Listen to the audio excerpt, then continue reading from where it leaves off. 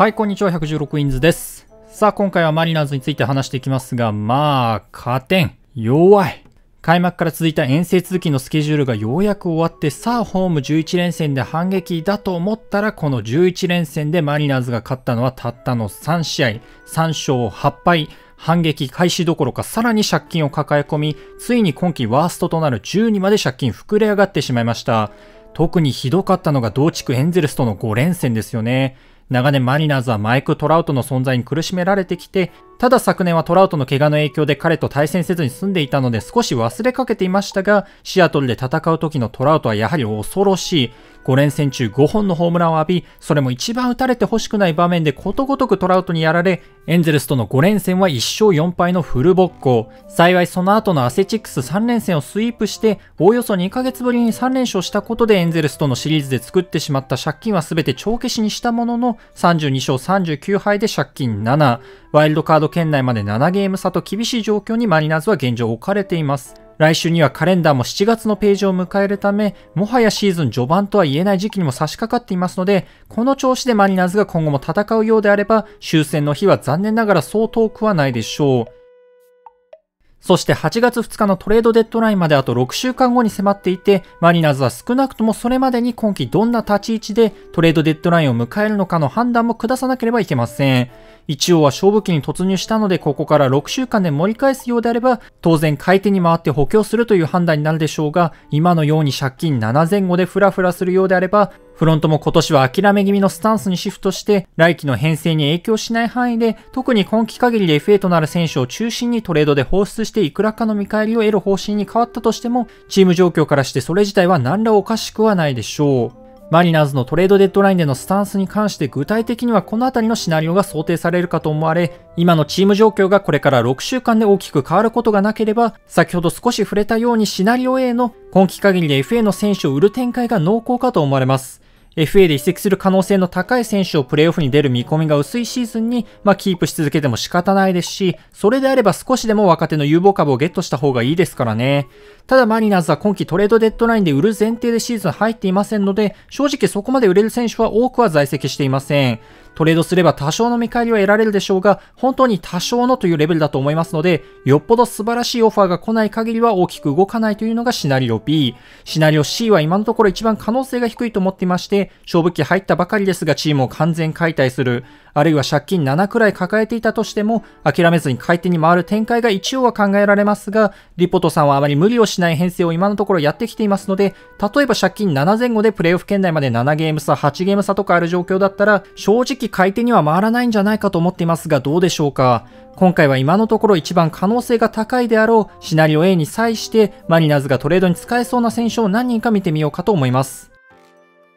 一人目、アダム・フレイジャーですね。今季のマリナーズの中ではかなりがっかりなパフォーマンスのフレイジャーですが、まあそれもそのはずで本来はアベレージを残すタイプの選手なのに69試合で打率2割2分1厘。昨年オールスターにも選出されたパイレーツ時代は打率3割2分4厘だったので、1割も下がってしまっていると。もともと長打力に期待できるタイプでもないため、WRC プラスも74と、今のフレイジャーにバッティングでの貢献はほとんど見込めない状況です。ただ今季はセカンドと外野両力を守ったり、キャリアではさらにサードの経験もあったりと、ユーティリティ性の高い選手でありまして、また今季の BABIP が2割4分6厘と通算と比較してもかなり低いので、揺り戻しに期待しつつ、フレイジャーのユーティリティ性を変えたいチームはゼロではないのかなと、もっとも今季のフレイジャーではせいぜい傘下トップ30のプロスペクト1人もらえれば御の字ではあるんですが、マリナーズがパドレスからフレイジャーを獲得した際に差し出したパッケージもかなり控えめではありましたので、彼に関しては見返りさえあればマリナーズとしてもそこまで損した感じはしないと思っています。2人目、ケン・ジャイルズですね。2年契約の2年目、昨年トミー・ジョン手術で全休するのが分かっていたため、もともと今季のために2年契約したような感じですが、しかし開幕直前に中指の怪我で離脱し、ようやく先日復帰したばかり、マイナーでのリハビリ登板はかなり打ち込まれていましたが、一応今季デビュー戦は3者凡退に抑え、速球も95マイル出ていましたので、あと6週間でどれだけ価値を上げることができるか、ブルペン補強、目論むコンテンダーは多く、豊富なクローザー経験を持つジャイルズが万全と分かれば、興味を持つチームもいくつか出てきそうですし、また少々高額ではあるものの、来季950万ドルのオプションもあるため、獲得するチームとしては今季限りの補強とも必ずしもならない点も好材料。これからのピッチング次第ではありますが、傘下トップ15、20前後のプロスペクト1人にもう1人を加えた2対1のトレードをまとめるのが理想ですが、まずはジャイルズが健康にトレードデッドラインを迎えることが何より大事でしょう。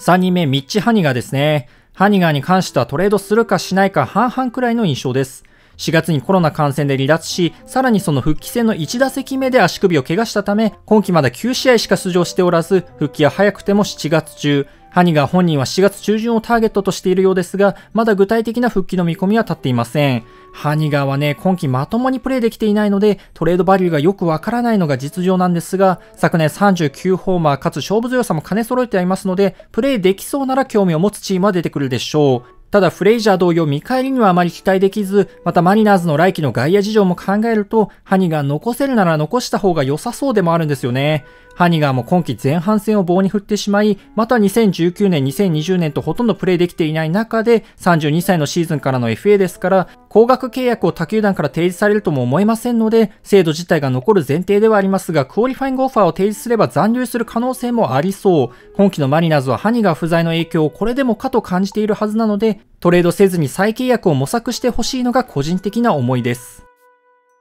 最後、クリス・フレクセンですね。フレクセンは一応契約今期までということになっていますが、トレード市場では少し敬遠されるかもなと思っています。今期のフレクセンは異様に打線の援護に恵まれない試合が多く、ここまで2勝8敗、また昨年ほどのコマンドもフレクセンないようでして、フォアボールも結構増えていますし、結果として防御率も4.23と昨年から悪化してしまっています。ただ大崩れしないのがフレクセンの魅力の一つであって、とりあえず5回、6回を2、3失点でまとめてくれる力はありますし、その点昨年のデッドラインでタイラー・アンダーソンやジョン・レスター、ジェイ・ハップが移籍となったように、計算できる先発を求めているチームがあれば移籍の可能性もあるでしょう。今季の年俸も300万ドル程度と安く、お金に余裕のないチームであっても補強できる点もまた良いのかなと。ただフレクセンの契約には来季800万ドルのオプションがありまして、これが昨年と今年の合計イニングが300を超えた場合にプレイヤーオプションに変わってしまいますので、昨年179回3分の2を投げたフレクセンは今季120回3分の1を投げればプレイヤーオプションになると。今のペースでいけば年間120回は余裕で超えるはずなので、今フレクセンは欲しいけど来季800万ドル払ってまでは残したくないなというチームへの受けは少し悪そう。なので残留の可能性が高いかなというのが私の感想ですね。